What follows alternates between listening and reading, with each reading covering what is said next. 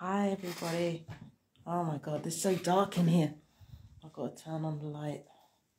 But yeah, um I just wanted to talk about the whole Thandie Newton situation. Um apparently from what I've read, she basically broke down in tears during an interview and talked about the guilt that she felt taking roles from darker skinned women and um apparently black Twitter, which is usually um, American Twitter, basically clowned her over that.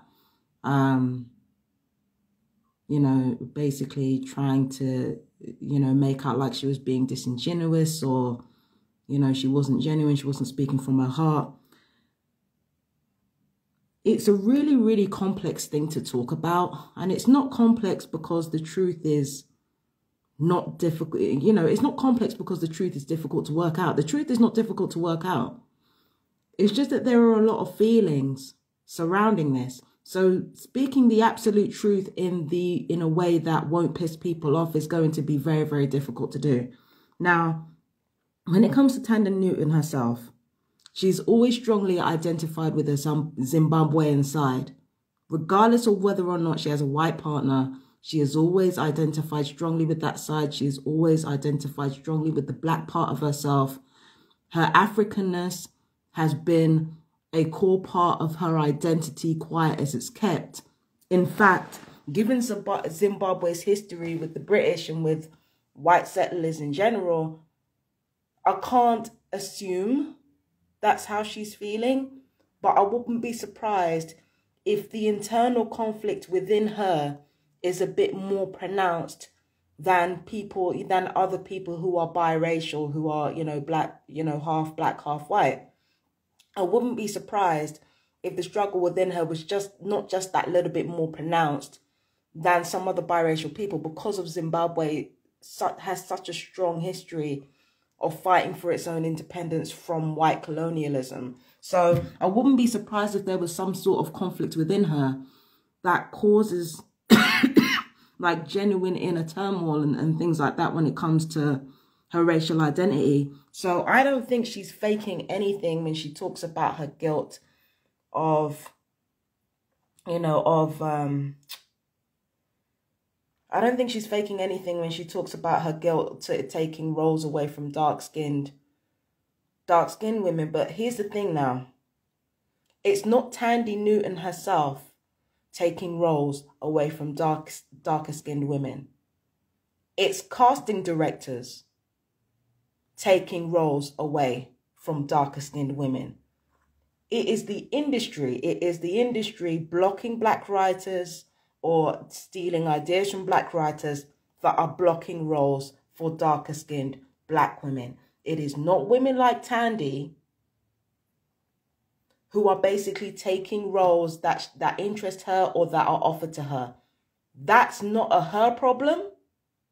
That is a Hollywood problem. That is an industry problem. That is, you know, that is an you know inherent racism within the entertainment industry. Does she benefit from it? Absolutely, she does. But it's not her fault personally. And the thing about it is, when people give themselves a hard time like this, what people don't seem to get is that it can be another form of narcissism. It can be another form of being self-indulgent or being self-centered. So for her to like have this guilt over dark skinned women not getting the roles, like you're not the one writing the roles, you're not the one producing it. it they're being written and produced by other people in the industry who are gatekeeping who are making sure that women like us don't get roles. Okay, so it's got nothing to, it's got borderline nothing to do with you. The only thing you're doing is making the most of an opportunity that was presented to you. And then she apparently said something else. That part I didn't catch. Now, you know, I think that Thandie Newton, I don't think it was pandering. I think she was looking for approval. But again, I don't know her. I can only say what I've seen. I think she was looking for approval. I think she genuinely does feel guilt. I think she genuinely does feel this way, but it's, you know, from what I've read, it's really, really like self indulgent to me. Because it's like you're giving yourself a hard time so that somebody can come around and say, oh no, it's not your fault. Oh no, no, no, don't feel bad. No, not like, come on, girl. Come on. You're better than this. You're better than that. You are better than that. Don't do that shit. But then apparently she, she said something else, which probably explains why Black Twitter are coming for her. Um, apparently she said something along the lines of, I never noticed there was colorism until you know, I came to America. Now, Americans took this personally to the point where I went on a, a Black Americans um, Facebook channel. Like th- th- this person I absolutely adore with my whole heart. Let's be absolutely clear. And she's always been really, really balanced, really, really sort of, you know, she's always had a balanced opinion. but then there was someone else on her page saying that she couldn't stand Black Britons. And this is what I'm saying, you know, with, with Thandie Newton, with what she said, like, this is how personally people took it. They took it as Thandie Newton's statement about colorism looking down on black Americans to the point where now all black Britons are kind of tarred with the same brush. So my thing is this, right? My thing was this. So this began a really complex argument. I could have left it alone. Could have left it alone. I chose not to. That's on me. I said, look, do tell. And then she said, um, you know, well, black people treated me badly, looked down on me because I was American. And I, said, well, as a black British person, I've never seen anybody look down on black America. And this is absolutely true. I've got cousins who have been to America more than once I haven't had a single relative of mine come back and say anything bad, like not a single thing bad about Black Americans over there. In fact, they all had great things to say about Black Americans. Oh, they treat you like your family, like you, they welcome you, they're, they're, they're nice to you, this, that, and the that. Like I've heard, I've heard nothing from good things about Black Americans from relatives um, that have been over there in the, you know, from the UK who have been to America, have experienced American culture. You know, they welcome you, they're, they, they're nice to you, this, that, and that. I've never heard anything bad about Black Americans.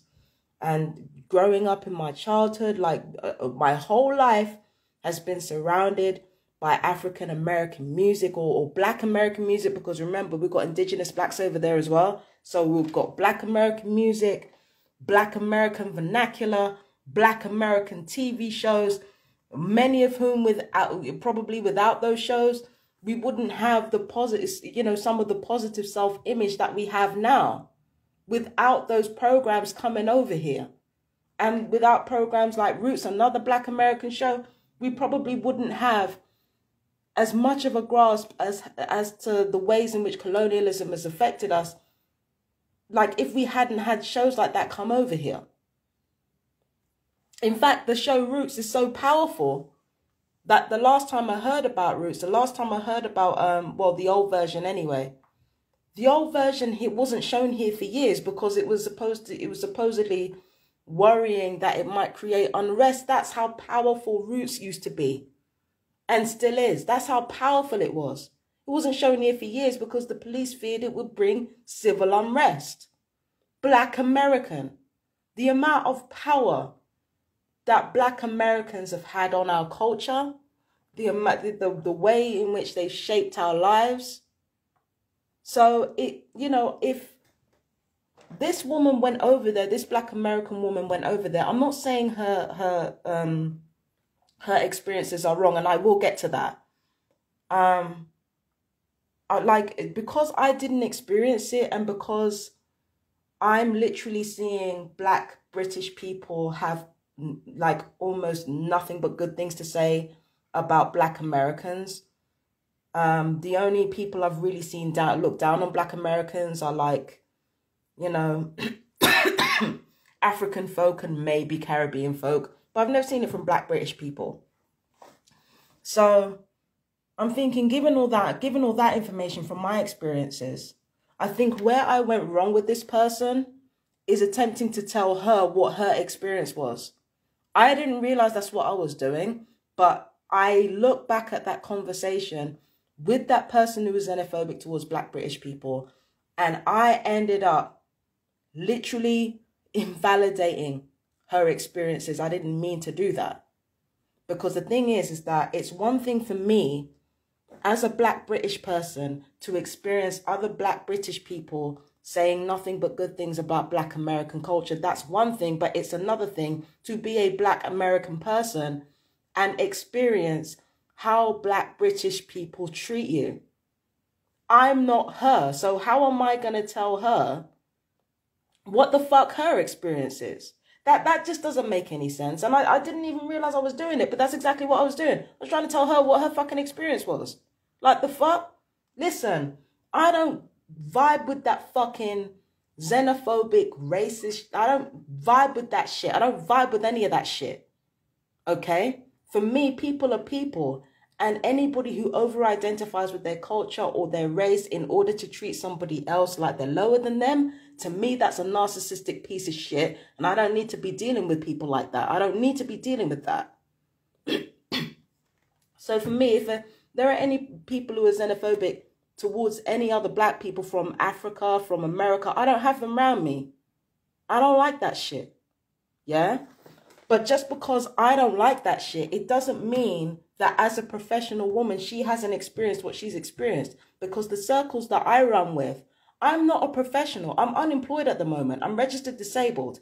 So the circles that I run with as a black British person is going to be very different different from the circles that this person walks around as a professional woman in the world. And she's been all over the world. I haven't been all over the world like that. So I can't turn around to her and say, oh, you know, your experiences are wrong or your feelings are wrong. Like, if that's what she's experienced, then that's what she's experienced. But then I've experienced that black Americans tend to be a bit more xenophobic towards us than the other way around. We've had Samuel L. Jackson talking about roles being taken away from black Americans. We've had like, we you know, there have been endless discussions like with with YouTubers talking about you know, how black British people don't know jack shit about, you know, the black, our experience or even the black experience. Like, you know, basically downplaying our experience with racism because we don't experience it like in the, you know, because we get treated better in the US than people in, you know, people from the US actually do, you know chiefly because you know the chiefly because the US police are trying not to look bad. So yeah. So basically, um what was I saying before? Yeah, so just you know, the, from my experience, it's been more black Americans being xenophobic towards black British people, thinking that foreign people have no right to talk about specific issues and no right to comment and this, that, and third. Like, it's literally been me experiencing more bigotry towards black British people than the other way around. So, there's validity in my experiences, but there's also validity in that woman's experiences. And that's where we have to kind of try to, you know, you know, she tried to agree to disagree, which to me is bullshit. Because the thing is, is like, Xenophobia is not something that you agree to disagree about. It's not something that you agree to disagree about. It's something that you have a mature conversation about. You don't judge people as a whole by the way that you have been treated. You judge, you know, you, uh, for me, I don't judge people by their race. Or, I know it sounds weird coming from me because I've talked a lot about race in the past. And I used to be the type of person who oscillated between being very pro, pro-black and very pro integration. But the way that I am now, knowing the truth about how race works and things like that, um, I'm honest about the way race works. But when it comes to individuals, I'm going to treat you how you treat me, and I'm going to judge you by how you treat me and how you treat the people around you. That is not race specific and that is not culture specific. But this woman basically tried to, um, you know, basically was talking about her experiences, but where she fucked up was saying that all black, black British people are like that, when that's not the case. I could have easily made the same mistake and said that black Americans are, you know, are more xenophobic than us. Instead, I just said, well, you guys are xenophobic too, because that's what human beings do. But at the same time, I can't deny this woman's experiences. I can't deny what she's been through. If she if she came over here and found that we were hostile, snobbish, disrespectful, then I can't I can't help the black Britons who who, who fucking disrespected her. I can't help them with that. Because at the end of the day, what are you even disrespecting her for? Most of our vernacular, the vernacular that we use in everyday life is African American vernacular. You got you got people from the fucking ends of Peckham and fucking and fucking Harlesden talking about feds. We don't got we don't have no fucking feds over here. We don't have fucking feds over here. We call the police feds over here. The police are not even the equivalent of the FBI over here. We used to have the equivalent of the FBI over here, but that's now defunct. Over here we have MI5, MI6, we have GCHQ, we ain't got no fucking feds. The only reason why we call people feds over here is because of African American vernacular. Let's be real. African American vernacular. What's up, girl? How you what you saying, girl? What's up, girl? African American vernacular. Oh, so you're mad mad.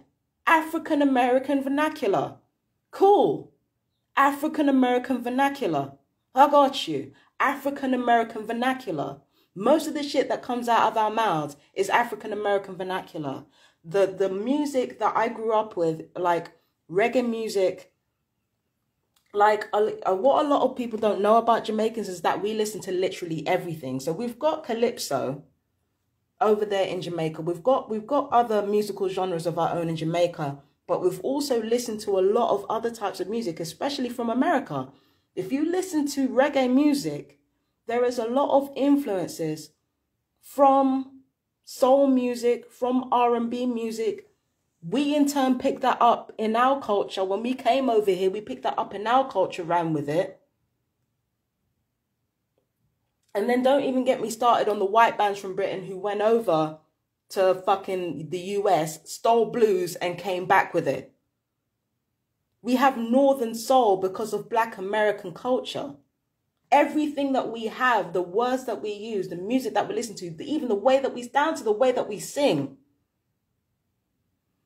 African Americans or Black Americans have left their mark all over the world. So the fact that anybody could meet a Black American woman and be disrespectful towards her, knowing what Black Americans have brought to the world, like after everything was ripped away from them, their history, their culture, everything, they created a new one from scraps, and the world's still copying them. And you want you want to fucking disrespect a black American woman as soon as she comes over here and really in your infinite wisdom think that you're better than her? What the fuck are you doing? I don't fuck with that. I don't fuck with that. So whilst I don't fuck with oh, I can't stand black British people. I don't fuck with that because it's immature as shit. At the same time, what is anybody doing looking down at this woman for being black American? Like what what the fuck are you doing? If you're looking black looking down on black Americans, stop listening to black American music. Stop using African American vernacular. Cut that shit out altogether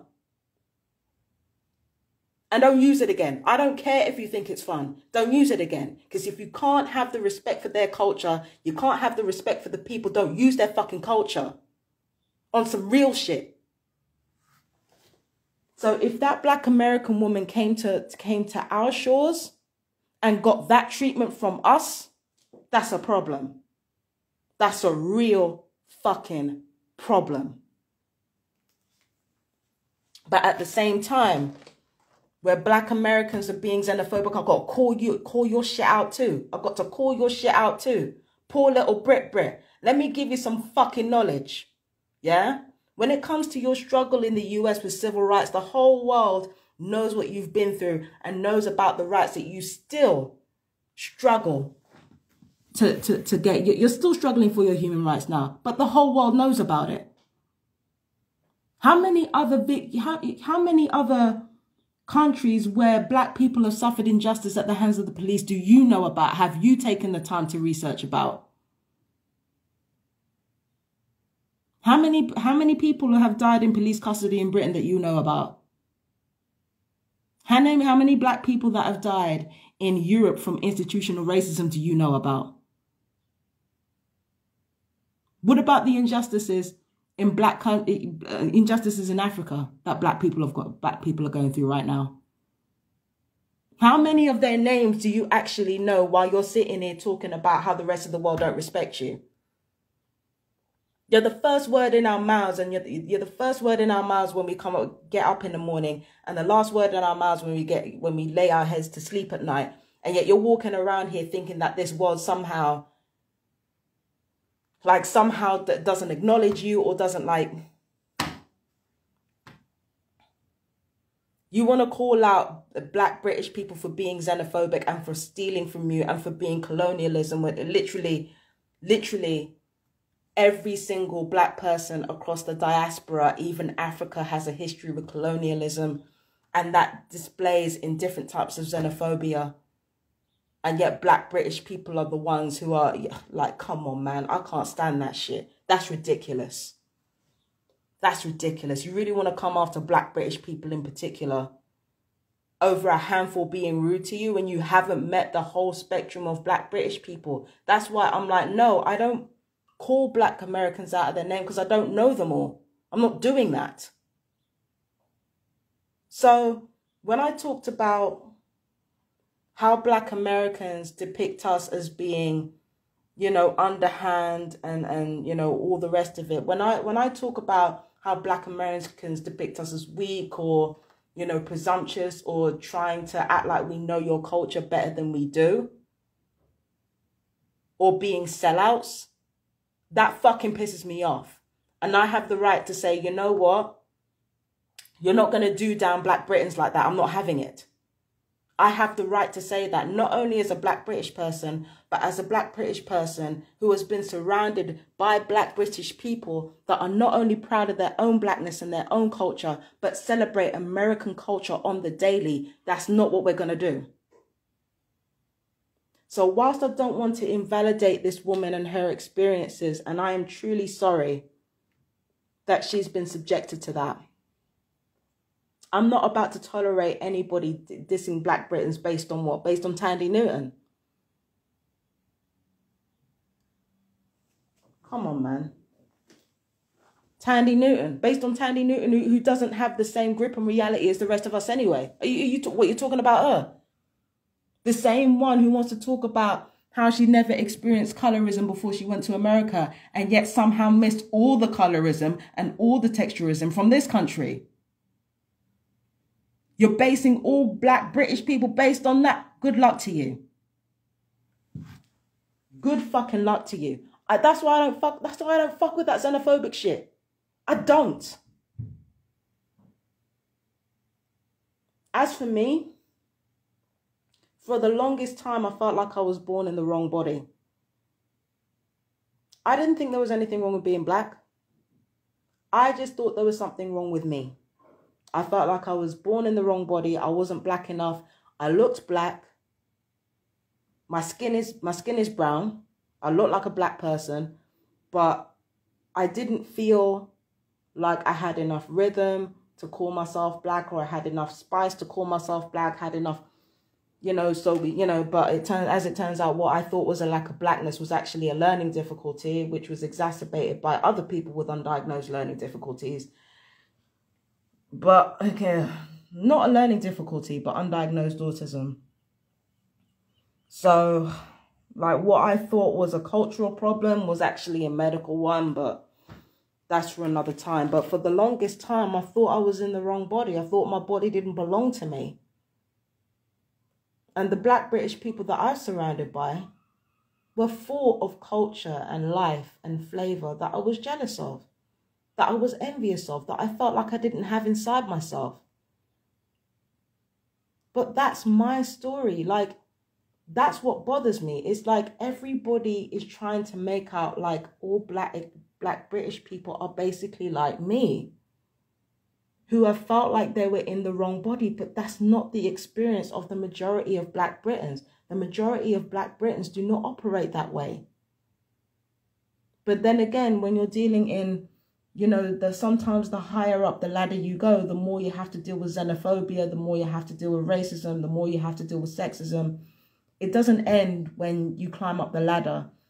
You kind of have to bypass it in order to get up the ladder. The, you know, the higher you climb, the steeper it gets.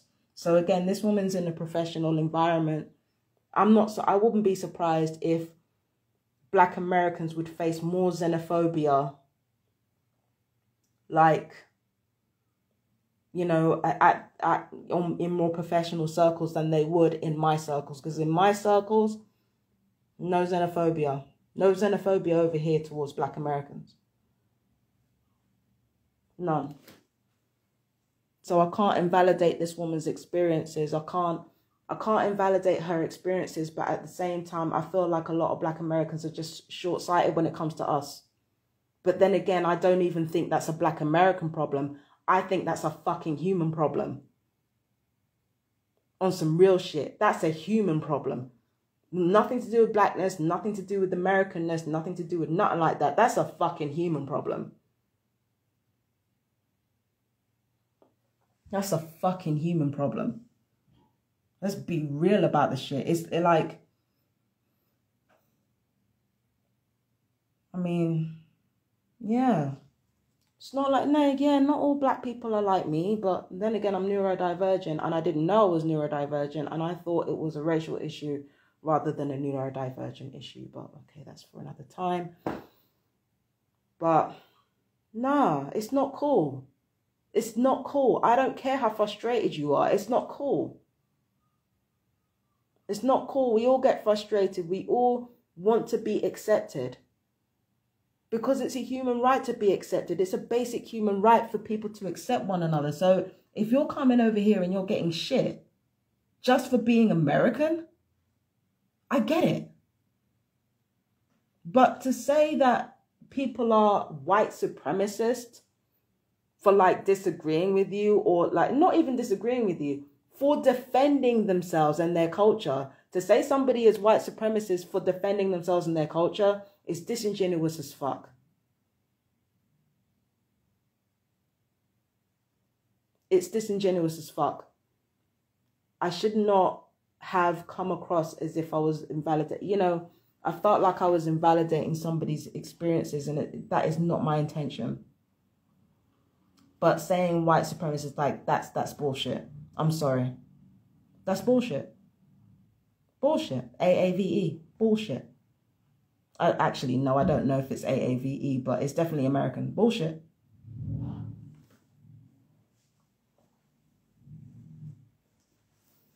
Oh, yeah. So, yeah, that's what I have to say about Thandie Newton and the whole wider situation. I I really feel that we kind of over identify ourselves with this sometimes. I really do. And I really feel like it causes a lot of problems. I spent so long hating myself for being not being black enough. That I lost my self-respect a lot of times. Because I over-identified with my race rather than realizing, you know what, you have undiagnosed autism, uh, you have severe trauma from a lifetime of abuse on top of that. And yes, there is a legacy of slavery that's responsible for that, but it's also an individual issue that has no bearing on you or your culture. I'm just, yeah, it's heartbreaking. It's heartbreaking when we do this to each other. It's truly heartbreaking. But we all have a lot of growing up to do. We cannot keep over identifying with this Don't get me wrong. I've accepted being black. I lo- actually love this skin. I can't I can't lie to you. I do love being black now. I never used to, but I love it now. I do. But it's just I love being a black woman. I love all that it brings. I love all that it teaches me. I do love it. But it's one thing to love being a black woman or love having brown skin or love having a woman's body or love having a woman's brain. It's one thing to love that. And it's another thing entirely to just base your entire being and your entire ethics around that. When really it's as simple as do unto others as you would have them do unto you. We over identify with our culture and then, you know, and then we, you know, we try to hide our malaise behind it when really it's as simple as just treat other people the way you want to be treated and if you're navigating a racist, corrupt world that is colorist and texturist on top of that, well, you've got a couple of decisions to make. Either you're going to progress up the ladder, knowing that this shit is not going to change. Sorry, there's a lot of noise outside. Either you're going to progress up the ladder, knowing that this shit is probably never going to change, or you're going to step away, choose solidarity, with the people that you talk about and just live your life that way. Try to find another way to make a living. Those are your two options. But crying about it and, and you know and trying to open up a dialogue that is literally futile because again the higher up you go, the more elitist it gets. Trying to have a conversation about that is just what are you crying about it for? Like, um, why are you doing it publicly? You don't need to do that. Like, seriously. You don't need to do that. Do your thing. The problem is not you. The problem with Thandie Newton, the problem was not you. The problem was never you. Just do your fucking job. Like, just do your job. Do your job. Like, you like, like, either take the role or don't. Take the roles or don't. And keep you keep your self-loathing to yourself because the thing is sometimes when you hear somebody who doesn't like themselves or who doesn't like what they do and they basically go around telling everybody that they don't like themselves and what they do, it's self-indulgent. Take the role or don't. Seriously. You know, you know, make a stand or don't. You can't just talk. You've got to do something. So anyway, that's my that's my piece. I think I I think I was jumbling. I think I was all over the place with this video. But yeah, Real Justice Tarot, Fabianne Deacon vocals. I'm gonna leave the links next to this video. You guys take care. I love you. Bye bye.